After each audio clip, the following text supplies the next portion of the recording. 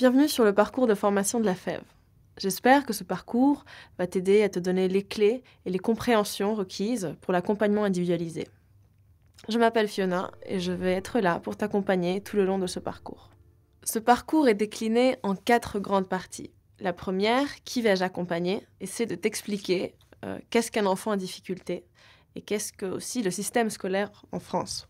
La seconde partie va t'éclairer sur ton rôle et ta posture en tant qu'accompagnateur.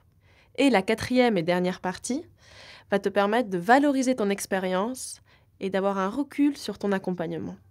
Tu peux suivre ce parcours tel qu'on l'a imaginé, mais aussi tu peux naviguer à ta guise et en extraire les éléments qui t'intéressent. Mais l'important, c'est qu'il te serve pour ton accompagnement. Ce parcours ne se suffit pas à lui-même. Il va être complémentaires des formations qui vont être proposées par les salariés de la FEV et aussi complémentaires de toutes les informations que va t'apporter ton référent. Tu auras à ta disposition un carnet de bord, c'est un outil personnel où tu pourras prendre des annotations et aussi tu auras des ressources pour aller plus loin.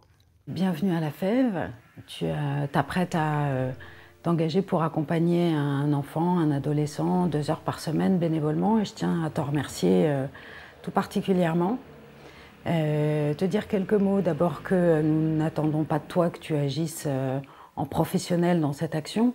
C'est l'important, c'est la qualité, la force du lien que tu sauras créer avec, avec cet enfant qui, fera toute la, qui, en fera toute la richesse.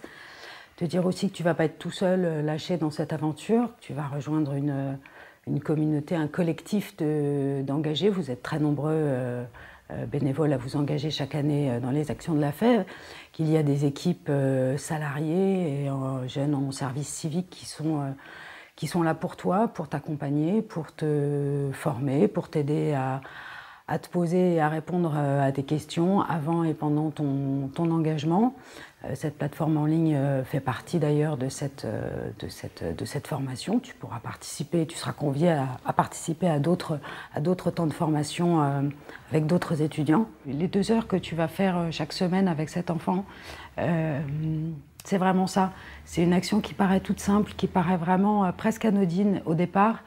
C'est vraiment ce qui va contribuer à l'aider à reprendre goût dans ses apprentissages, à retrouver du sens à l'école, à retrouver du sens à, tout ça et, à s'épanouir euh, euh, à s'épanouir pleinement dans euh, et hors l'école. Les jeunes étudiants qu'on rencontre aujourd'hui en France ont tous une vraie volonté de changer les choses. Euh, ça, on le, sent clairement.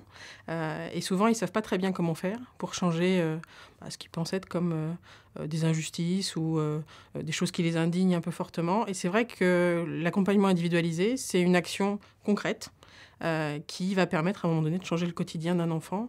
Et ça leur permet bah, de changer un peu le monde à leur niveau.